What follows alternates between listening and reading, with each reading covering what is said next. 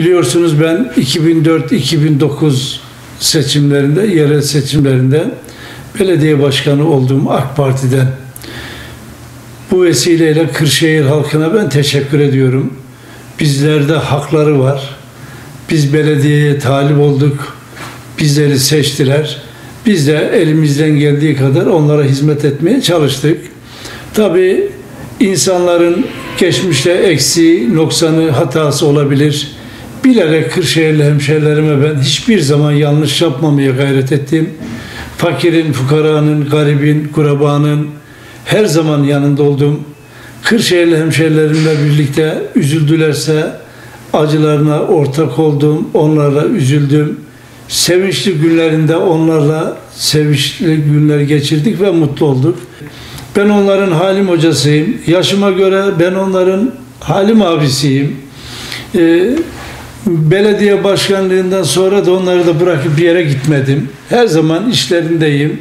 Biz e, kalmış projelerimizin devamı için tekrar Kırşehir'e hizmet etmek için aday adaylığına talip oldum. En büyük hedefim hizmet etmektir. Peki aday olursanız ve belediye başkanı seçilirseniz Kırşehir'le ilgili projeleriniz nelerdir? Şimdi efendim e, yarım kalan projelerimizin devamıdır. Şu andaki yapılan bir kısım projeler var. Hattı zatında onlar bizim e, projemiz olan projeler idi. Kırşehir'e böyle bir arıtma benim belediye başkanlığından ayrıldığımda takriben yüzde 85'i falan bitmişti. Ee, en büyük hayallerimden birisi Kırşehir'de. Kırşehir halkının hani dedim ya garibin, gurabanın yanındayız dedim ya ben onların halim hocasıyım dedim ya işte onların halim hocası olarak geldiğimde 650 lira olan yani 65 kuruş olan suyun şu anda zannediyorum 2500-3000'ler civarında bilemiyorum ama o, o su fiyatlarının tekrar indireceğimi sizlerin aracılığıyla ve 60 bin kapasitelik fırında garibe kurabaya verdiğim desteğimin, desteğin devamını buna benzer sosyal projelerin devamını yapacağım.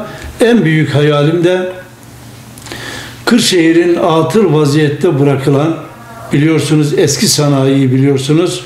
Bu eski sanayi sitesinde biz o günün zor şartlarında Kırşehir halkımız bilir.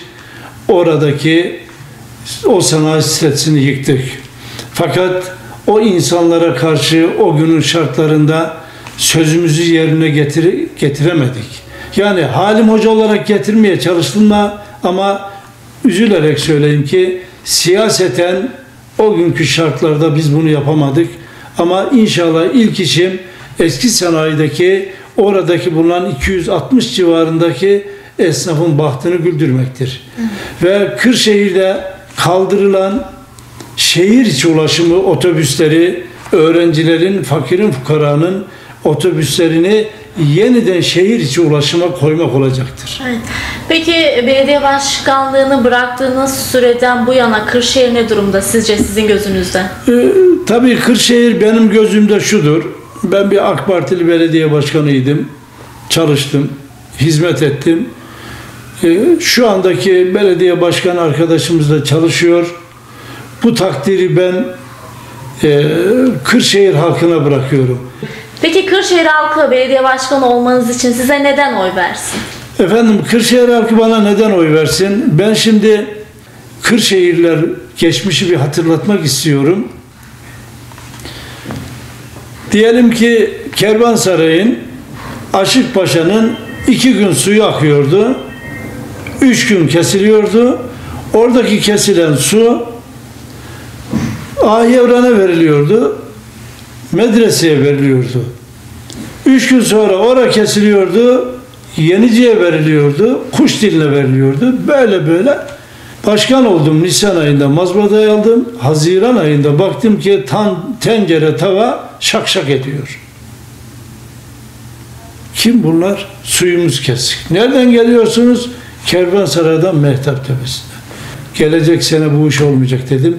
Rabbime şükür Ökse'de eski itfaiyenin orada Ökse'de iki yerde, orada bir yerde su kuyuları vurdurdum ve Kırşehir'in su problemini çözdüm. Ve su fiyatları 1500 liraydı. KDV hariç 65 kuruşa 650 liraya.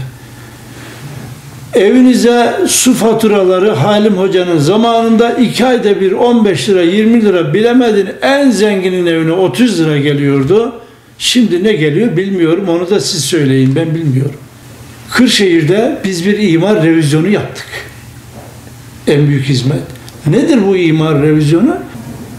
Bunlarda bir kısım yerlerde inşaat payı yüzde 40, o garip ve kurabanın Hızır Ağa'nda, Dinek Bağı'nda, bağ başında, bahçeli evlerde, Kındam'da inşaat sahası yüzde 25.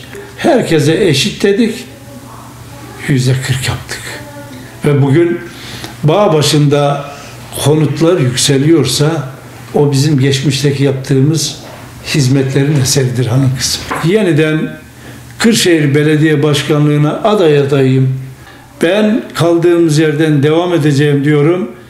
Sizlerin ben kamuoyunda oylarınıza talibim, sizlerin desteğinize talibim diyorum.